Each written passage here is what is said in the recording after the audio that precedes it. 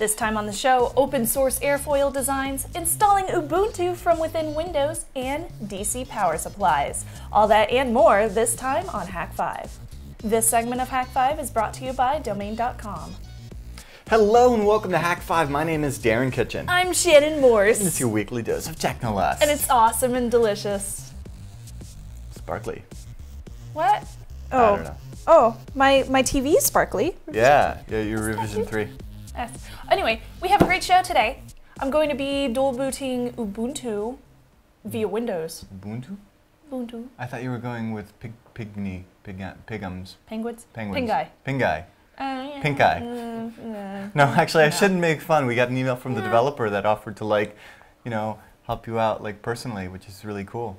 But really? uh, but yeah, That's I think awesome. it's. But then again, you're gonna go the long way and what? Go go gnome? I might do gnome. Mm, I don't Do it think all I'm. yourself? I don't think I'm cool enough for it. Customize it? KDE. What? You're not cool enough. anyway. Gen 2 box, yeah. cool. Yeah, and, and um, Pranay is back from the uh, Quadshot project to talk about uh, some like airfoil stuff, Ooh, really geeky. Be delicious. Yeah, we got a, a big stack of really good questions uh, for the end. Uh, Oh, we haven't what? seen. Huh? Oh, Go ahead. No, no, no. I was Oh. just gonna say we haven't seen the results yet, but we're still, you know, hoping that everybody voted for us, Yes, we hope everybody voted for us. so I don't have to wear a cheese head. Yeah, I don't really want to wear a cheese hat either, but I can't wait to see the Virginias for Lovers shirt on Ben Heck. That's gonna be funny. A lot of people, you know, wrote in us. They're like, "Oh, it's gonna leak." And it's like, no, it's a closed system. And the other thing was that I guess we didn't really properly show this off, but uh, the motherboard itself. This is pretty cool. Hang on, I'm unscrewing a VGA. It actually does have a video card. Nice. Um, the motherboard Oh, itself is actually in a Chococat three-ring binder, which has been modified so that all the ports and stuff fit. and this, just so that everybody, so that we're clear on this, that's a full ATX. Just want to make, just throwing that out there. Anyway, Had to be full ATX. something like that. Yeah, something like that. Yay! You know what? Case I, mods. I went to Napa Valley this weekend. Yeah, what'd you do there? I hosted a bachelorette party. Mm. Went to Napa Valley, had some wines. Well, everybody else has wines. Had the wines, but um, I was the. You didn't have the DD. wines? No, I was the DD. You were the. I mean, I, I was wait, still you able were to. you were mirroring drives. Yes, I was the designated driver for my girlfriends Uh-huh. for the bachelorette, and um, I still got to taste some wines, but I had to use the little spit can that they offer you at the wineries. So I Snubs spitting. Yeah, I didn't. They teach you that in Missouri? you can be the DD for this podcast, huh? Huh?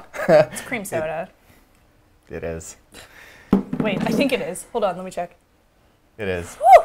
Hey, No, I'm just kidding. you know what I like? It's good. I like when people send us cool stuff at 548 Market Street, number 39371. You're lucky because we got some really cool stuff this week. All right, let's do Um, it. What do we got? Okay, yeah. Close your close your computer because we kind of kind of have a big box. Ugh. Okay.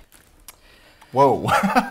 I told you it's a big box. Ooh. Some floppies. Floppies. Who doesn't love Windows 3.1?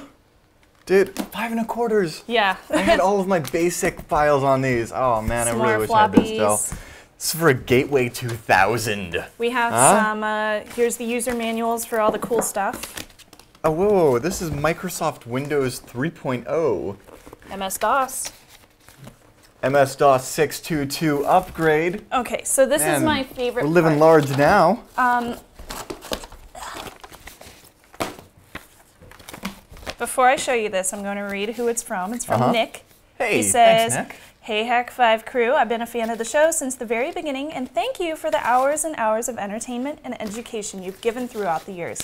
I was recently going through some things that I had in storage that I found and I found some of my computer parts and software collections that I no longer have use for and thought that you guys would make better use of them than I. Keep up the great work. Hope you have some use for this package. We'll put it on the set. Yes, we will. Yes, and your I junk is now our junk. Thank you. remember the photo frame case mod? Yeah, yeah. Whoa. Yeah. That's a lot of RAM. Yeah, it's not only RAM too. There's RAM. It's like we got some PC 100. There's some CPUs. Oh wow. Check it out. It's an And AMD. check it's it out. A, There's even more. it's an old school Athlon XP 2100. I'm assuming these are broken, so I'm not going to take care I of had the anymore. XP 2100. Look at all these. Dude! Whoa! Aw. Look at all of those CPUs. Okay, well, we have to make some kind of AMD with this. K6-2. Yeah, actually, we've got a plenty of CPUs now. We're gonna have to make a CPU mobile or We something. We should. We should make some. Ooh, what's we could do like a itty-bitty one? 3D mobile. Are Yeah? these like laptop ones? I, I don't I don't really know which one this is. I don't I'm either. gonna have to look up that model. It says it's Motorola, so Oh. yeah, interesting. Sweet. Dude, sweet. Thank Yeah, you. that's this is pretty. fine. Oh, it, it's got a latch. How fantastic is that? Yeah, we could use it. Yeah, sweet. Okay, cool. Thank you so much, Nick. That's fantastic. You know what? Let's get the ball rolling. Just let's get the ball rolling. Let's get flying. Let's zoom out of here. Let's throw over to Pranay and find out about flying and stuff. And then when we get back, Dale Chase will be here. Yeah. This week we have the pleasure of having Pranay. What's up, man? From the Quadshot project. We've got the Quadshot in the studio again. I'm super stoked because you're gonna you're gonna show me how to build a uh, an airframe and everything that there is to know about avionics in the next five minutes, right? Well, I'm going to show you a little bit of what we did for sure. yeah, I'd love to know. So this is what's actually this material? well, this is actually extruded polypropylene. It's uh, sorry, expanded polypropylene EPP. It's basically foam. Mhm. Uh, what we've been doing to build our uh, prototypes is taking a block of foam and using a CNC router to uh, cut out the shape which we designed. And uh, hopefully, if things go well on Kickstarter, and they've been going so tremendously well thanks to all Good, the support good. we've got, and uh, we should be able to uh, injection mold them, which will give it a nice clean finish. Oh, nice. Yeah. So uh, I guess when it comes to the shape of the aircraft, that's kind of one of the most important parts. How do you come up with that? Well, there are several parts to the shape of an aircraft. This is basically a flying wing. And so the wing itself is made up of these 2D sections called airfoils. So, you know, the whole wing shape where uh, it's, you know, in the front and it has this teardrop shape. Right, right. I mean, every every every kid has taken a piece of paper and blown across the top. to Essentially, yeah. fly. So it's a slightly more complicated version of that. And so basically, what we have are two or three sections within this wing, and they're all essentially joined together by a loft. Now, the loft essentially is decided by what kind of sweep we want, and that is partly decided by the drag that's on the aircraft, and partly decided by the stability we want, Mhm. because we want it to be swept enough that the center of gravity falls in a specific location on the aircraft, and that helps it maintain stability in flight. And how many airframes did it take you, uh, or iterations of those did it take you to get to the, the perfect one? Uh, this is the eighth wing, and I think we've pretty much frozen the aerodynamic design at this point. Uh, basically, what we started off doing was designing the airfoils themselves, the 2D sections, Mhm. and we use a couple of programs called Xfoil and AVL, which were written by uh, Professor Mark Drela at uh, MIT. And what I have over here is just a front end version that another gentleman uh, wrote up, and it actually And shows this is off. this is uh, open source stuff. this, this is open source. Oh, that's so yeah, great. XFLR5. It's excellent uh, front end software for Xfoil and AVL, and you can just download it off uh, SourceForge. And uh, you know, you can see, for example, after we run our analysis on different airfoils, you can see uh, the boundary layer separating and you know becoming thicker as okay, the so angle of attack is the the blue part here is the actual wing. The yellow is, is representing what? The yellow is actually representing the boundary layer, which is essentially the slow-moving portion of air and is slow moving on top of the wing right next to the surface because of the friction. And up here is that the friction? Uh, up here is the pressure that you can see on Ah. the top surface and the Yeah, bottom well, you surface. can actually see here as it turned here, the pressure got pretty dramatic. Wh- what is that really representing? Well, the peak, the main thing that we look for is the difference in the pressure between the top surface and the bottom surface, and it's that pressure differential that really, uh, you know, manifests itself as the upward force that you see of the lift. And uh, so basically, when it's at the maximum lift position, you'll see that the top surface and the bottom surface have a very different pressure Mhm. because there's lots of pressure pushing it up, or you know, there's low pressure on top and there's very low pressure on top and much high pressure on the bottom surface. Uh, you know, speaking on a fairly basic level. Uh, and what happens after you get beyond a certain point is that the pressure that you see, uh, well, basically, because there's this really huge negative pressure peak or there's this huge low pressure area in front Mhm. of the airfoil and there's a high pressure area at the back of the airfoil, the airflow actually wants to move backwards.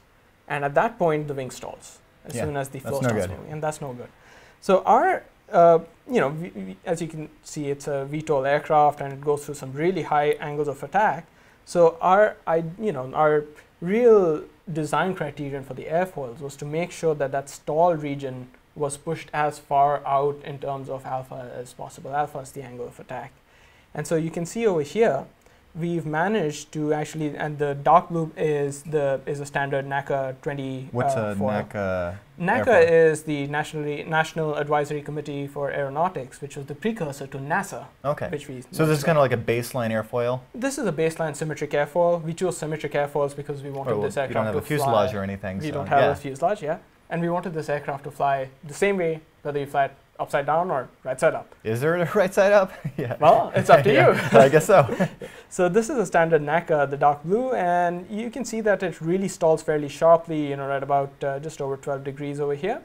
And this is our airfoil in the light blue, and you can see that it stays above a CL of 1, which is pretty good, all the way from 5 degrees of alpha all the way to 20 degrees of alpha, and it's only so at, at about 20 degrees, then it stalls. Yeah, which is fine because by that time your thrust is, uh, you know, your main lifting force is coming from the props anyway. Or So are there like, are- the uh, do you come up with a shape and then run it through a simulator, or how do you, how do you come up with these figures? Uh, so basically, this uh, the airfoil definition is written out in terms of x and y coordinates, and uh, you know there are many ways of doing it. Different people do it different ways. A good way of doing it is to start with a standard airfoil like a NACA in case you Mhm. want a symmetric airfoil, Yeah. and then look at that pressure profile that I was showing you earlier, and basically m- change the shape of the airfoil to make sure that pressure profile does what you want it to do. hmm And uh, you know there are optimizers in Xfoil that will allow you to do that, and there are some things you can tune by hand.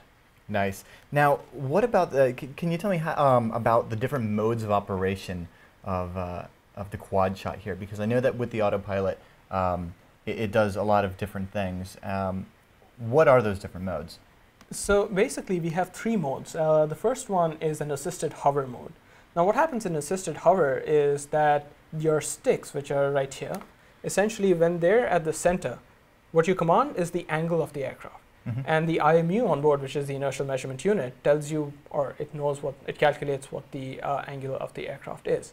And basically, so when I push it all the way forward, it wants the aircraft to be at 90 degrees, which is fully flat forward. So it's flying Right, and then it's not a like it's that. not like a helicopter anymore. It's, an airplane it's, now. It's an airplane Right. now, right? But if I let it go, then it centers itself. So it re- resets back to. It resets back to vertical. Mhm. And so that's really easy if you're a novice flyer because you know if you start panicking, let the uh, sticks go and it'll right itself. All right, so that's the first mode. Is it Mhm. will just stay vertical. What's the other one? Absolutely. The second mode is a forward flying mode. So essentially, what happens in the forward flying mode is that you hit a switch, and this wing will, you know, the aircraft will spool up the top motors, spool Mhm. down the bottom motors, and mix in some ailerons and flip it forward. And it'll do this for you. All you have to do is hit a switch, Okay, so then you could tell it to you know take a dive, right? let go of the sticks, And it'll and it'll go back to forward flight. it'll go back to forward flight.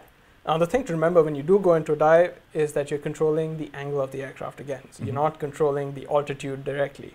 So, you know, if you do go into a sharp dive, make sure it's you Okay, know, sure. far enough above the ground. Yeah. But uh, yeah, anything. Uh, so yeah, again, that's a fairly highly assisted mode. Uh-huh. In fact, the good thing about that is that uh, you know how when you try and turn an aircraft, you have to bank it, and then you have to feed in a little bit of rudder so that that And this doesn't have that. it doesn't have a tail. So how do you how do you compensate for that? Well, we have a little IMU on the thing, like I said, and it measures uh, sideways acceleration.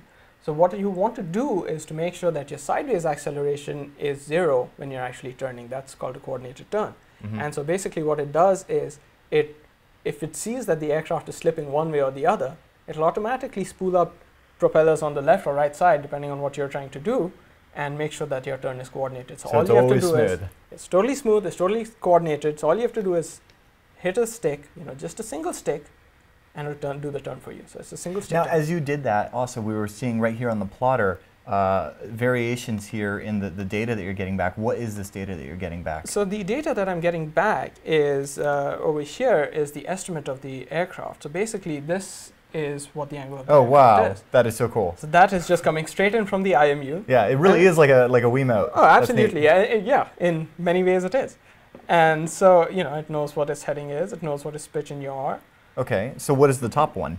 The top one is what you set from the remote control, we call it the reference. Mhm. So that's what you control. So suppose I turn on this remote control, right? And I'm going to have to spin up the props for this one. So I'll quickly ask uh, my colleague Chris to step in. And Chris, could you just hold that? And I'm going to have you put these on, just safety first. All right. So if I spin up the propellers, and this is a safety mode, uh, we, the system doesn't turn on unless the props are spinning. It's, it gives a good indication that things are on. Now if you look at the reference over here, what happens is that when I pull on it, it moves. Okay, so, So I your am top setting one this. is what you're telling it to do. Absolutely. But it knows what it is because it it's knows got the it is, IMU. Right. And in fact, if you look at the bottom graphs over here, Yeah. right, these are the commands that the autopilot is feeding into the motors at this point. So when I pull So it what, up, what the, what's the green and the red representing? okay, so the green is the yaw command, the Mhm. red is the roll command, and the blue is the pitch command. okay, so so, told it to pitch a lot right there. Right, can- because I pulled this thing down. So if I pull the stick down, which means I'm telling it to pitch up, uh-huh. what happens is that you can It- see the I see it sending the command, and and if you were to tell it to roll, you would see it in the 3D. Absolutely. So suppose I set it to the attitude mode for the telemetry and I tell it to roll. There you go. Nice, and you can you can totally hear that it's like Yeah. adjusting which uh, Right. which And- propeller is getting the power. So if I want to yaw, can see it moves around. And, And it's it just getting upset ailerons. because it's not actually doing yeah, because Chris be is doing. holding it steady at the Yeah, moment. So yeah. I'm telling it to do all these things, but it can't do it. Yeah. So it won't do it. In fact, if Chris, could you just move it around a little bit? Oh wow. Okay, so I can see he's now moving the aircraft, the bottom view, and Right. it's trying to And fight it's trying you. to fight it. Yeah. Mm-hmm, because it wants to. It wants to stay at that because I'm not putting in any commands. Nice. Because like I said, easy mode, leave all the sticks So be, okay, and it's all good. That defines the first two mode, and then of Mhm. course the third mode is the fun mode. The third mode is the fun mode. The third mode again is a simple switch away. All you have Mhm. to do is, you know, so from this is two and that's three. And what happens in mode three is that it's really like an aerobatic aircraft at that point. You have very direct control of things. There's always the autopilot running, but what you can do is tell it to point any which way you want. hmm You can tell the set point to rotate at about 720 degrees per second or more. Uh, our gyros max out at 1,000, uh, 1,200 degrees a second. Uh, so we So try and some- limit it some- below that. So you can do yeah. some crazy acrobatics with it. Yeah. I, we've pulled uh, maneuvers that have had the aircraft spinning around at between 800 and 1,000 degrees a second. since it's That's just crazy. since yeah. it's just a flying wing, it could probably spin on oh a dime yeah, too. you bet. Yeah, it can spin on a dime. It can turn around on a wingtip. So See, I'm going to be the guy, as soon as I get mine, I'm on the Kickstarter. I can't wait. Uh, and not only am I going to be packet sniffing from the sky with a Wi Fi pineapple, but I'm going to be doing acrobatics while I'm at it. Dude, thank you so much. It has been Absolutely, a pleasure thank once you. again. People can go over to flyquadshot.com. Flyquadshot.com. Awesome. And all of this software that you spoke about is open source. So you can just download All of this is open playing. source. This is all uh, in a project called Paparazzi, and the link to the wiki is on our website. I love it. And yeah, they can find everything Great. there. Thank you guys so much. We'll Thank be you. back in just a bit. No, it needs to be something more like straightforward, like USBRubberDucky.com. No, no, it should be more hardcore, like like tacticalassaultducks.com. I'm leaning towards programmable human interface device.com. No, no way. absolutely not. Is that you typing? Kirby! Kirby. Meow. No matter what your project is, Domain.com has what you need to register, host, and promote your next big idea.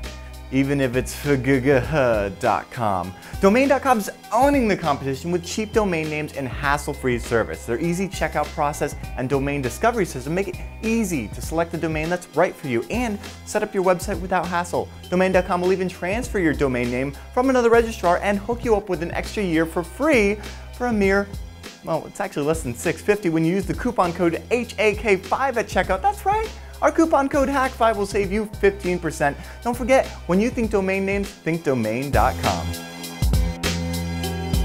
McAfee Deep Safe and better protection for processors Intel put on a demonstration at the Dev Forum this week. Defend your OS against rootkit techniques. Microsoft shows off Windows 8, the phone 7S. Metro looks great, a new UI with tiles and apps you flick through and mess the end of Microsoft to get the preview. THC Hydra updates the 7, the fast network log and Cracker helps you get in. Loop through users as RDP, test trusted domains via SMB. Attackers tampered with BitTorrent and uTorrent. You didn't download what you thought you'd get. Fresh client installs infected with malware. You paid Security Shield to fix threats that weren't there. Hack on, piece of daring fireball, hack on. Enter the Hacker News Hack On. Enter Threat level hack on. Insecurity complex hack on. Uh, hack 5 hack on. Yeah. One time for your mind. I'm Del Chase, those are your hacker headlines.